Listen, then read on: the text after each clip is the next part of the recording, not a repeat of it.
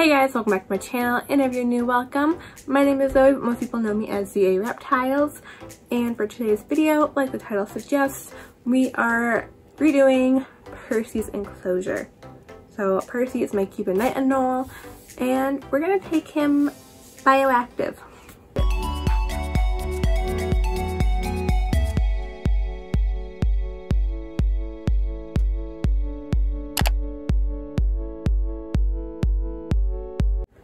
So this is my third attempt at a bioactive enclosure.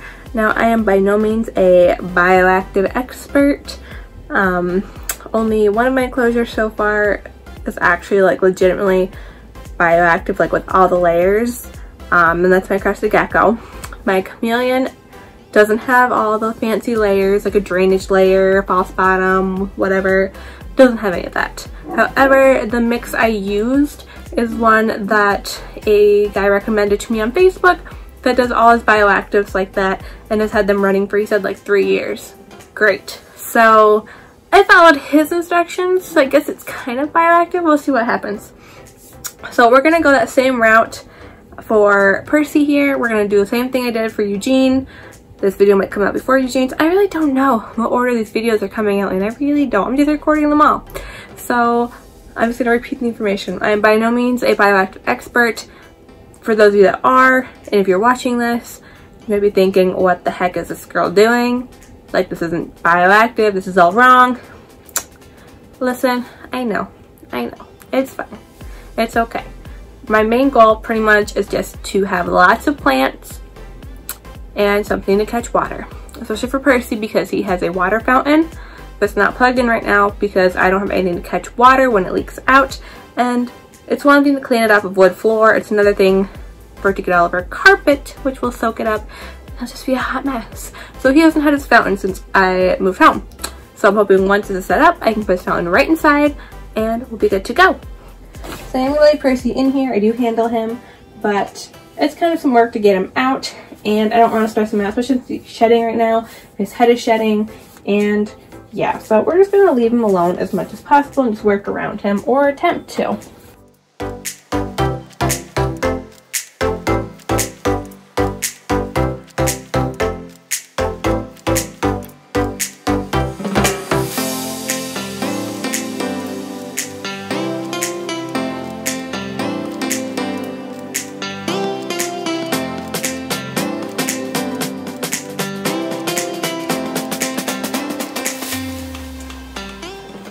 Okay, so what we're using here is a bag from the BioDude.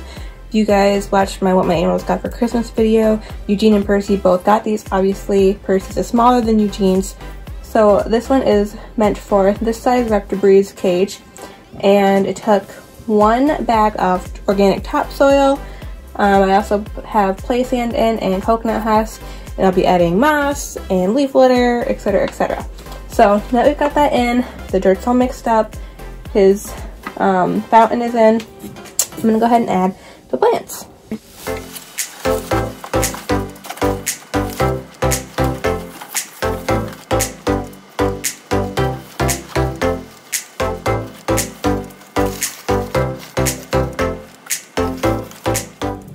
Just gonna leave from the fountain. The one problem um, that I have with the fountain is when the leaves get in it, water follows the leaves and then would leak everywhere. So it's not as much of a problem here, but I really don't want this oversaturated. So I do have to kind of periodically check and make sure that there aren't leaves hanging in the fountain. But right now it looks good. I'll attack plants like this, you can see. So I've got his pothos down here. This cute little thing is a polka dot plant. Really cute little pop of color. Got a nice bromeliad back here. Um, I forget what this plant is, but it was already in his enclosure. Um, the Dracaena back there. And then of course his pothos, which I wrapped around his branches. And then we gotta stick in this wood piece that I took out. So probably make it go right to the middle somehow up there.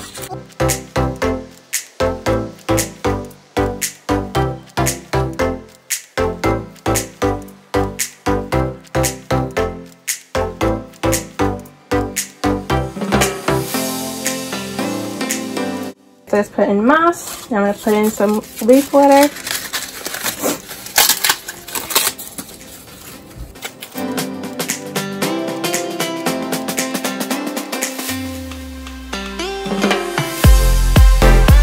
And my springtails come from Josh's Frogs. I have a horrible time keeping springtails alive. But I've had these for months and they're still doing really, really well.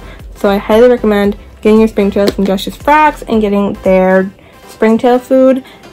I have had no problems keeping them alive. It is amazing.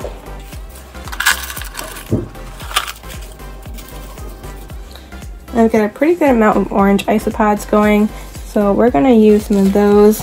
You see them all running around. Got some oranges and blues. So I'm just going to take a handful of this dirt and just plop it in there.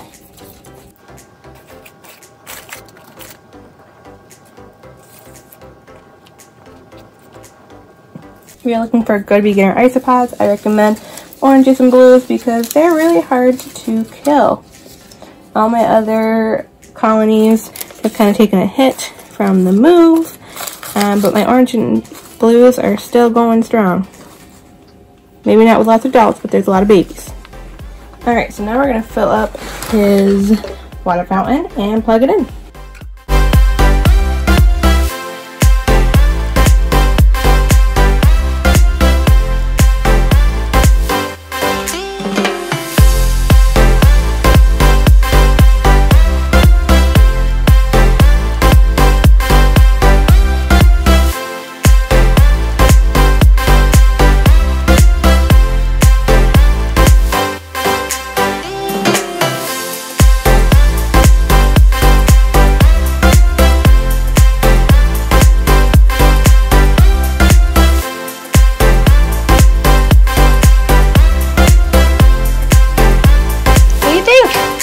Mr. Shetty Boy.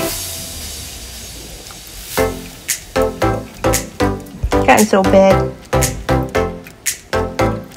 Alright, so I think we are finally done. I really like how this turned out.